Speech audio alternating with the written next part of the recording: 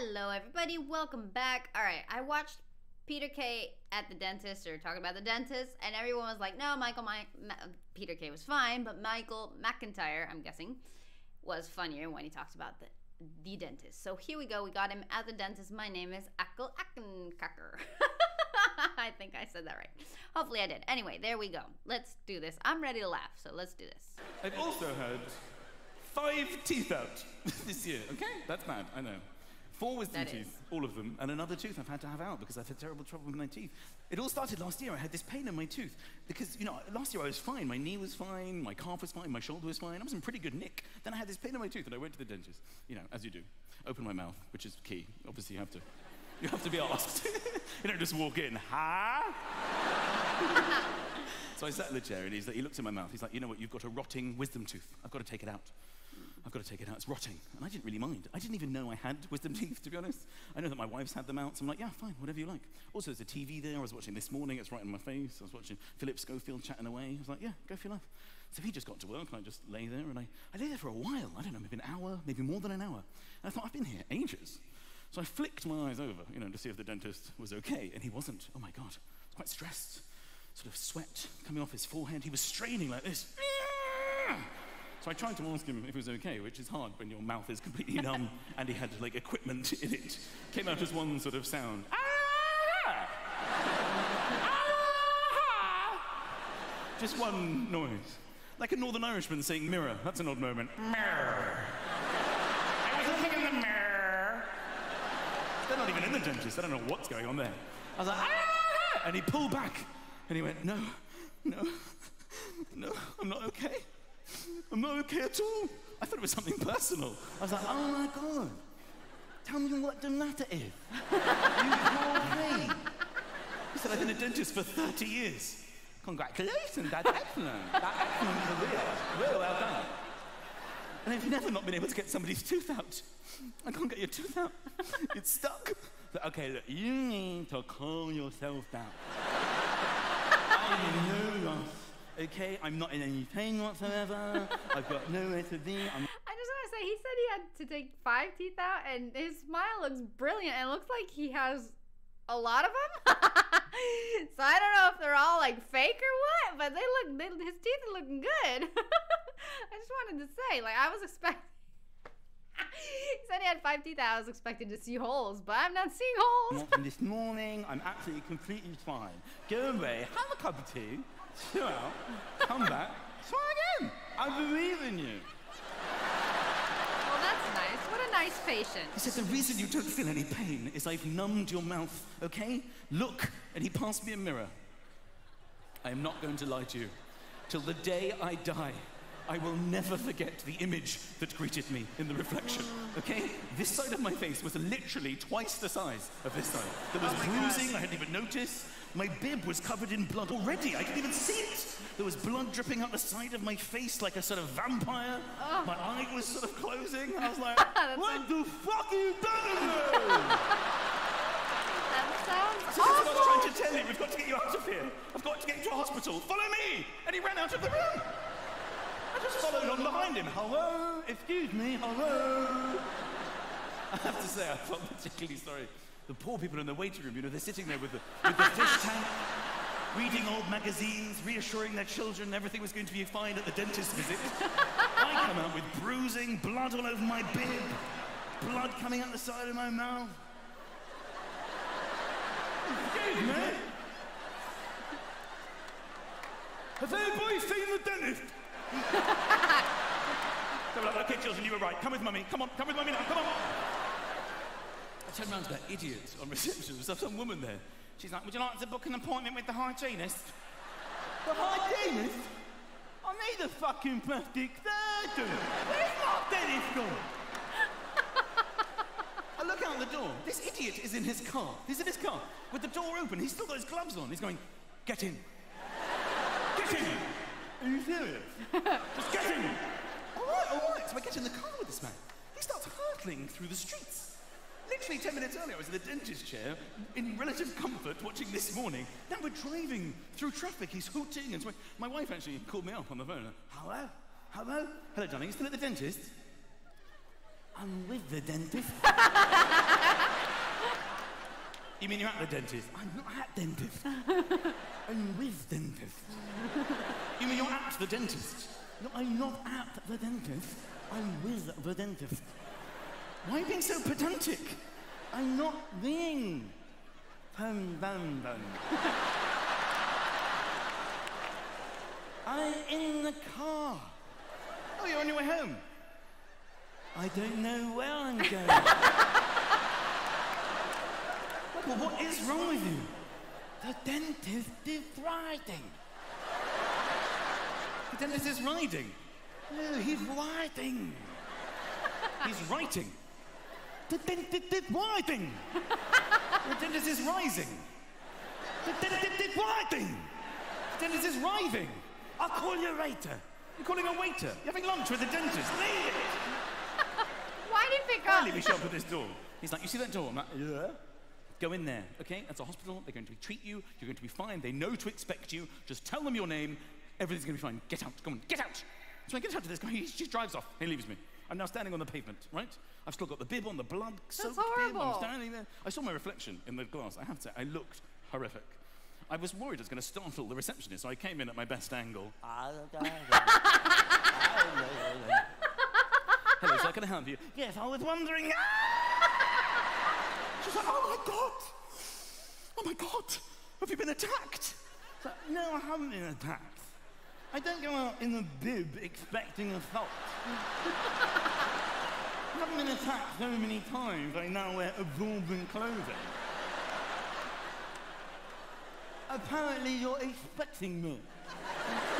Said, um, okay, sir, can I take your name, please? Now, the problem is, and you'll know this if you're on a local anesthetic, you can't move your lips. I had no control of my lips, and you need that to do certain letters of the alphabet. The M, for example, greatly requires lip work. M, and I couldn't do I need that to identify myself. So she's like, can I take your name, please? Yes. I have Akum Nakinkaka. Akko Akinkaka. Oh, Akku Akinkaka.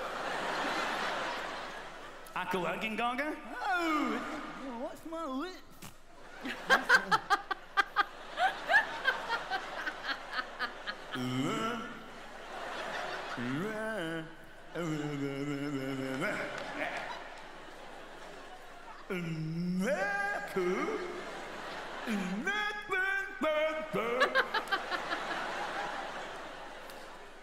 okay, I think the best thing for you to do is if you head down the corridor, take a seat in the waiting room, and we'll try to get to the bottom of this, okay? Now, I'm not going to lie to you. I was quite pissed off she didn't recognize me, okay? I've done quite a lot of television. I know that this side of my face was pretty much, you know, unrecognizable, but this side was fine. I tried to jog her memory as I went down the corridor. Unbelievable. she never even looked round. So we're getting into the waiting room now, and the anaesthetic starts to wear off. I feel a bit, you know, it hurts a bit now. I start making this sort of low, sort of ET type sound on my own in the corner. What a horrible experience. God. I try, people are, I, I tried to be nice. I tried to look at other people in there. Thankfully, I think for everybody, the nurse came in quite quickly. Akko Akinkaka? I didn't respond, I just sat there. She came right up to my face. Excuse me. Are you Akko Akinkaka? No. So, what is your name?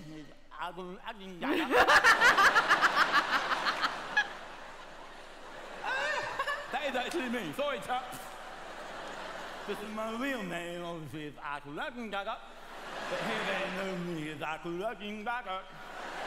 A curtain. So they take me up into this room, sort of private room, and she's really nice to me now. She's like, oh my God, you've had a terrible day, haven't you, sir? I have. I had a real horrible day. Please, are you going to help me? Like, yes, don't worry, don't panic at all. We do this all the time. We're going to give you a general anesthetic. We're going to take your tooth out. Everything's going to be fine. If you just want to take all your clothes off and pop this hospital gown on, we'll take you straight through to surgery. So, all my clothes off. You need to take all your clothes off, pop the gown and we'll take you through. Why do I have to take all my clothes off? All the patients have to wear the hospital gown. That's, that's, that's hospital policy. Yes, but you don't seem to understand the situation. I've got a problem with my tooth, which is located in my lap. I don't have a tooth embedded in my arm. They cannot wear my home clothes. But no, you'll know what it's like if you've been to hospital. They humiliate you for no reason at all. You have to put this sort of piece of shit floral thin gown on the wrong way round with your ass hanging out. I have to go into the loo with this gown with my literally my bare bottom hanging out of the back, and you put this on for no reason. It's why everyone in the hospital has their clothes on the right way round. You have to put it on like that. I'll come out.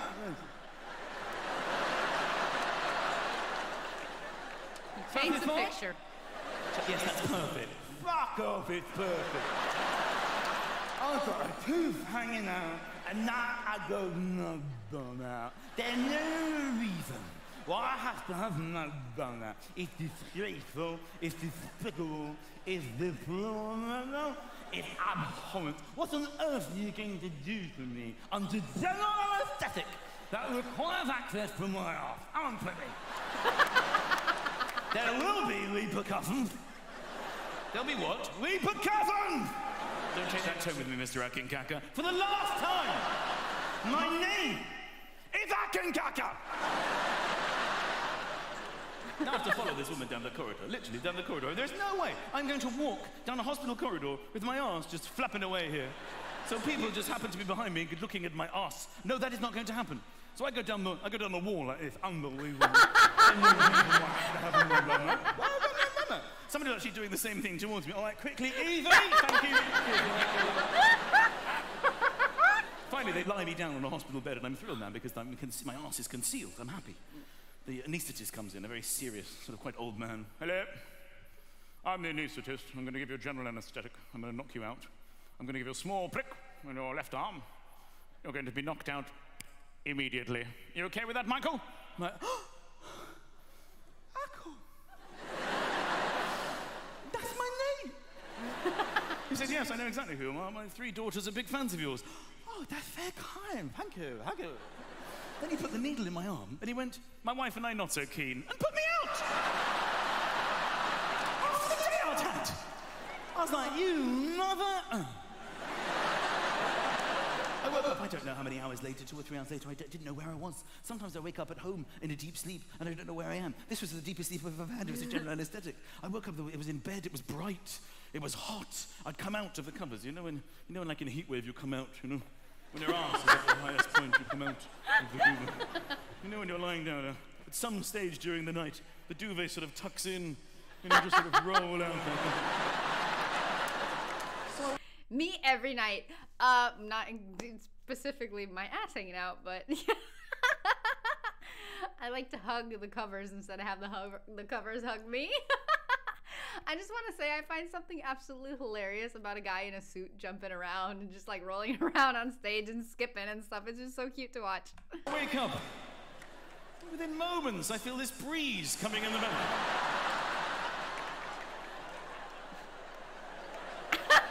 so I turn round to see my entire family standing there. At which point my son said, Pants down, you're the loser. His son said, "What?" That's the only thing I didn't understand. But okay, that was cool. I did not, I did not know Ackle Eckenkacker.